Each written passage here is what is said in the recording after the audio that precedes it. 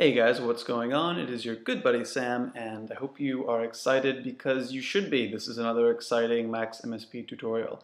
Um, today I'm going to show you how to do some cool video stuff with some texture mapping um, and some geometry manipulation. It's going to be a good time. Stick around. Uh, and also tomorrow, the Wednesday the 8th of February, no, Jesus, Wednesday the 6th of February. Uh, if you're around, you should come to Noisebridge where I'm going to be doing a little class on MaxMSP. Um, like a beginning class, just here's what an object is, here's how you add numbers, um, noise tilde makes sound, and that kind of stuff. Uh, so maybe if you're watching this tutorial, it might be a little bit too beginner for you, but um, I don't know. You got a friend who wants to get into it, you should send them along. It's going to be it's going to be a good time. Good times will be had by all. So anyway, let's get started. Um, this is going to blow your mind. First thing you have to do is open Max. I know. At this point, you wouldn't think. And I'm going to be using Max 6 in this tutorial, but I'm going to do the best I can to make this Max uh, 5 compatible. Um, I noticed a lot of people are still using 5, but you should upgrade to 6, man. 6 is way better. We got Gen, we got um, physics, got all kinds of good stuff. Come to 6. Also, pays my salary, so you should definitely come on over to Six. Um, anyway, so here's what I want to do. Uh, let's do some video stuff. And so to do that, first thing we're going to need is, of course, a window in which to draw. So um, jit.window. And I'm going to call my window cell pump. Cell pump. Um, and you'll see why in a second. Here's my cell pump window, and I'm going to save this you can, of course, name and save it anything you want. You know, you're a free and beautiful creative snowflake, so you should just feel free to name it whatever you want and save it in whatever folder you want. But I'm going to save mine in a place called Max Documents in a new folder called 25 Cell Pump. I'm going to call it, get ready for something amazing, Cell Pump. Cool. So, um, got that window, and where's the window? So over here, uh, I like when I'm doing this junk to make my window floating so I can always see it and then freeze that attribute so it will save with the patch. I like to turn full screen anti-aliasing um, on because uh, it looks better and I turn the full screen menu bar off because it looks terrible um, when it's on. So anyway, there's that window and then the, usual thing that I like to do here is add in a key to detect key presses, sel uh, 27 to get the escape key being pressed in particular, um, add a toggle under here, um, and then a message box full screen dollar sign one. And now because bangs are coming out of that sel 27 every time I push the escape key, I can use this to toggle full screen. So escape, full screen, unescape, not full screen. This awesome weird bar appears at the bottom. No idea what's up with that. Go ahead and delete that. It's probably fine. And Control Shift E to encapsulate all that. I'm going to call this subpatcher full screen. And now we can full screen. Awesome. Okay, that's sort of step zero. Um, now we need a uh, OpenGL context rendering chain thing going on. So I'm going to add a QMetro uh, 50, so we'll be rendering 20 frames a second. Um, connect that down here, and then trigger bang, bang, erase. So bangs come out of this QMetro. First, we'll send an erase message to the jit dot uh, gl uh, dot render, and we give it the argument cell pump, so it knows that this window is its rendering context. First send the erase message, then I'm going to create a send here and name it pre-render. Um, so that before we actually render, we'll send out a bang to any objects that need to do something before the rendering happens. And finally send a bang to JitGL render so it actually renders. Turn this box on, this little thing turns gray because that's the erase color of our GL context. Now immediately come into your, G this is critical, I'm about to show you a critical step. Come into your JIT Render Inspector, go down here to um, erase color, where are you, erase color, and make this an intense fuchsia. If you don't do this, nothing will work. You have to change this erase color to intense fuchsia. You don't actually have to change the erase color to intense fuchsia. Okay, uh, so next thing that we need to do is actually uh, draw some geometry in here. So what we're going to do, I want to make a plane, and then I'm going to um, map my beautiful face onto that plane, and then warp and contort that plane so that everything looks goofy. Um, so first thing we need is a plane, and a plane is just going to be a set of points. Each one of those points is going to have three uh, numbers associated with it.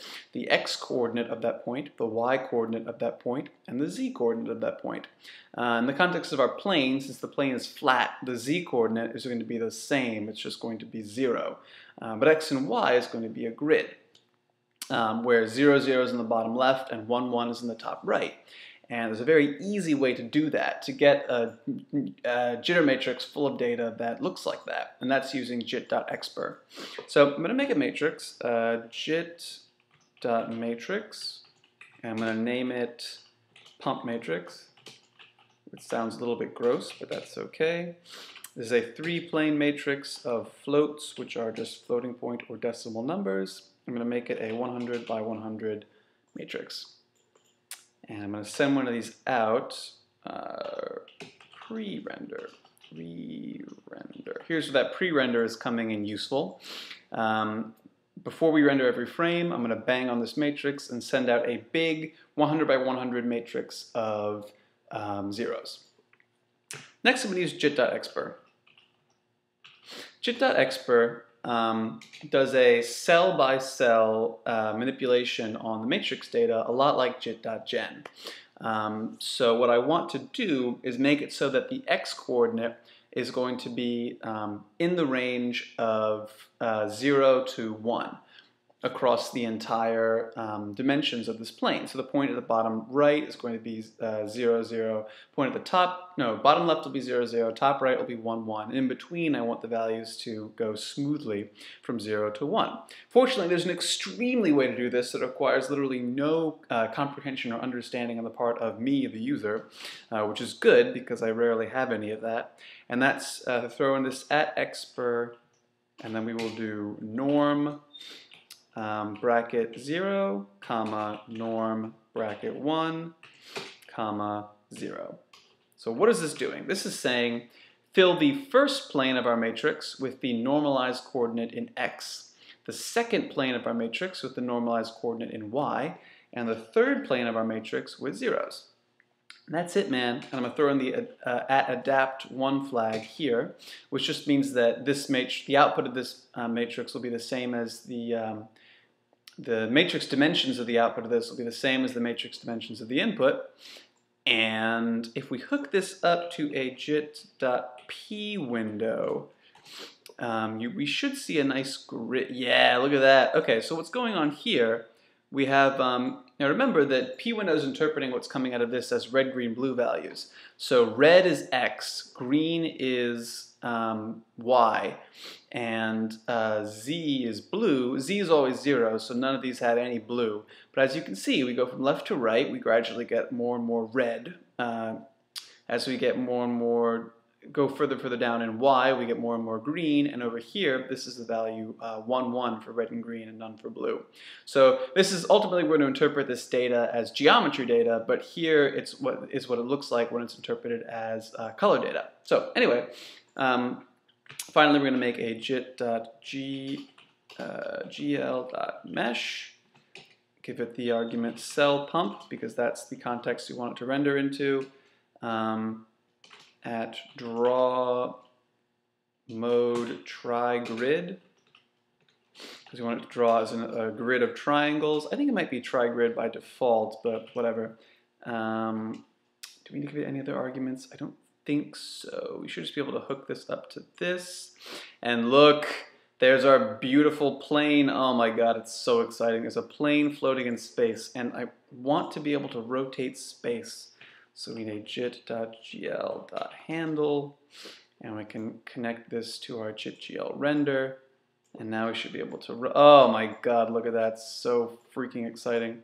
Um, I actually want this thing to be centered at 0, 0, however, so I'm going to do um, jit.op at, uh, at op minus minus pass at val 0.5, 0.5. I think we just make it 0.5.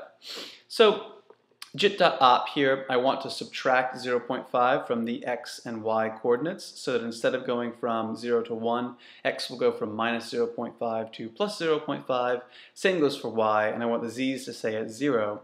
So that's why I've given this um, minus, minus, pass. Uh, pass meaning just leave the z values alone. So I'm hook this up to this and this up to this, and now the plane is right in the middle where we want it. Awesome. And I can do this to zoom in, and gray on fuchsia, not the most beautiful color combination I've ever seen. I don't know about you. Um, this is why I'm an engineer and not a uh, famous new media artist like Jeremy Bailey, but that's here nor there. Uh, anyway, so now that we've got this thing, the next thing that I think we want to do is map my face onto it, right? Like, here's a surface floating in 3D space. Why is my face not mapped onto it? Um, so that's easy enough to do. We get a jit.gl, nope, jit.qt dot grab. Um, we need a message box that says open. We need a message box that says close. Uh, and we need to hook these up to JIT-QT grab. Um, I also like to set the at unique parameter on JIT-QT grab to 1. Um, this means that JIT-QT grab is only going to output a new frame whenever there actually is a new frame um, which is very handy in case uh, we're sampling JIT-QT grab a lot faster than it's actually capturing new images. And I'm going to send the bangs from the pre-render.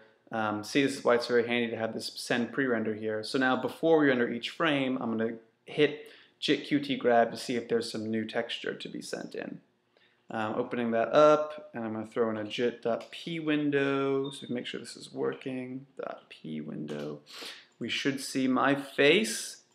There it is. Oh, good. Good. That's there. Awesome. Um, and now if we do jit dot jit dot uh, gl dot texture, and I'm going to give it the argument cell pump because I want this texture to be created in that same context. Uh, at name, let's call it cell text. This is easy. Well, let's call it pump text. A little bit pump. But I, I hate saying the word pump. I keep feel like, I don't know, pump and it's gross. It's like the word moist. It just doesn't feel right. So I'm going to send JIT-QT grab JIT-GL texture, come back up here to my mesh, add an attribute at texture pump. God, pump text. Hate saying that word. And now my face has been mapped to this square even though you can barely tell. And that's because our texture coordinates are all goofed up. Um, there's a way to fix that though. I'm going to put this down here so we don't have to deal with it. Um, so the text coordinates need to, we need to tell for each point in the square uh, where it needs to sample from the incoming texture to actually draw. Uh, fortunately, that's very easy. Uh, what's coming out of here is where the plane ought to be, and what's coming out of this GLExpr are normalized coordinates between 0 and 1 and x and y, which are exactly what we need um, to draw our texture. So I'm just going to hook this right up here. And there's my face floating in there's my face floating in space. Gorgeous. Gorgeous. Aren't you aren't you glad viewer at home that this is Aren't you glad you decided to watch this YouTube video now that you're being treated to this absolutely beautiful spectacle? This is probably the most, this is probably the least attractive um, frame of video that's ever been put on YouTube, but there it is, enjoy. Um, so anyway, let's, uh, having done that, let's go ahead and make that uh, glitchy and screwed up, shall we? Um, what a good motto. Let's go ahead and make that glitchy and screwed up. Yeah, let's do that. Um, so what I want to do? Well, we've done a good job so far of getting my face floating here in, uh, in this wonderful pink ether. Um, but now I want to distort the plane, and I'm going to do that by uh, tweaking with the z-coordinate. So remember the z-coordinate is, here's x, here's y, and then z is how far in and out of the plane we're going. Um, so all I'm going to do is just add some noise, boyo. So back here in um, Maxland, we'll do jit.noise. need a one plane matrix of floats since we're only um, playing with the z uh, dimension, z coordinate. And I'm going to give this the same dimensions as our input matrix. And I'm going to hook up another pre-render and hook that up to this JIT noise. So now it's going to bang out a new matrix of noise um, quite frequently, uh, once every frame. And I'm going to do up at uh, up and then I want to pass the x values, pass the y values, but add the z values. Um, I'm going to hook half of this up to, uh, so I'm going to add the noise to the z matrix, and the output is, yeah, look at that. Look at that excitement. That is, that's pretty cool, actually. Um, so we should probably add a little scale in here so we can scale. So I'm going to do jit dot um, times at val 0.1 and add a floating point number box here so we can control how much noise actually gets added um, like so. Uh, 0.2 say, yeah, and look, now we can scale up the, the intensity of how much we distort my already, my, what, what nature, nature distorted my face to a certain degree, and now with, um, with the computer, we can distort it even further to its, to its, I think, most appealing form. This is, I think, how I would most like to be seen by the outside world. Um, but anyways, so there you go. There's uh, using this floating point parameter to scale uh, the intensity of the noise being applied to my face. Now, one thing we can do that's actually going to make this look way cooler is come down here to this JIT GL mesh. And what I want to do is turn on um, lighting enable 1, so adding a, a, parameter or an attribute lighting enable 1 to turn on lighting. And you'll see this whole thing instantly goes black. Um, I don't know why this is, but the way to fix this, and then come down here, also turn on auto normals, auto normals, one. Oh, and now, ah, crud. Okay, um, first turn on auto normals, then come up to GL render, and then make this, um, I think you, I think I had it right the first time. You want to make light position minus one, minus one, minus one, zero. Um, or maybe zero, zero, minus one. Nope, had it right the first time. Minus one, minus one, And that's uh, going to be what you want in terms of your normals. And also um, down here in GL Mesh, this is getting a lot of control. So um, draw mode, tri-grid, texture, pump text, lighting enable 1, auto normals 1, and at smooth, smooth shading 1. That will make this look way better. Um, so here's something else that we could do. Um, you may notice that this is adding a new matrix frame all the time. Maybe we don't want that, so I can throw a speedlim in here and um, give an argument to say 250, hook up a floating box so we can change this. This is going to make it so that we only calculate a new plane of noise data um, once, four times a second. We could even do this every second, so it looks like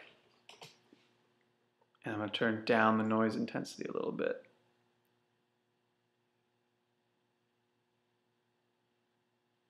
So that's kind of interesting. It's a little bit goofy. Yeah, there's my face being all rippled by noise data. Um, another thing we can do, I mean, nobody said this is max now. We can do whatever we want, you know, just because dad says just because dad says our input matrix and our noise matrix have to have the same dimensions doesn't mean it's right, man.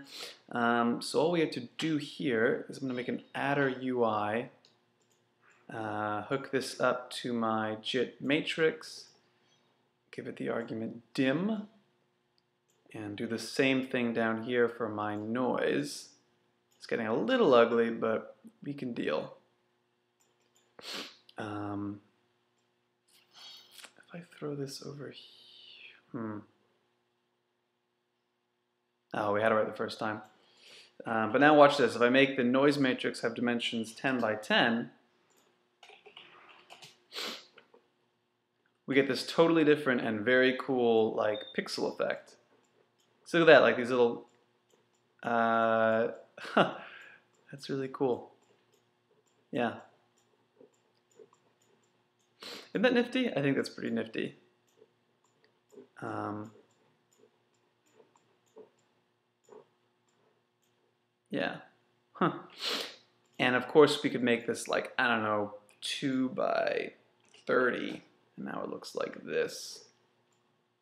Make that noise a little bit more intense. Oh, not that intense. Too intense. Yeah, look at that. Um, and then one final cool thing we could do um, is instead of just jumping to a new, a new noise value, we could smoothly interpolate between noise values. And that I think would look pretty gut pretty handy indeed. Uh, so to do that, after this noise thing, I'm going to throw in a um, jit dot jit dot matrix. Um, I'm going to give it the attributes at through 0 at adapt 1.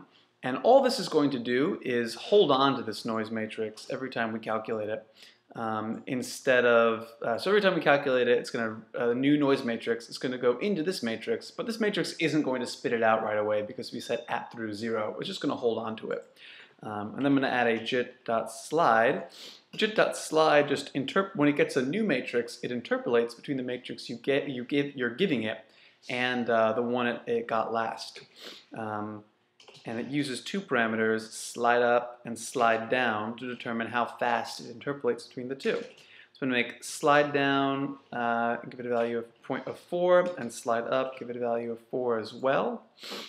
Send that matrix into this JIT slide, and now if I hook this pre-render up to this through matrix, we got this cool effect going on.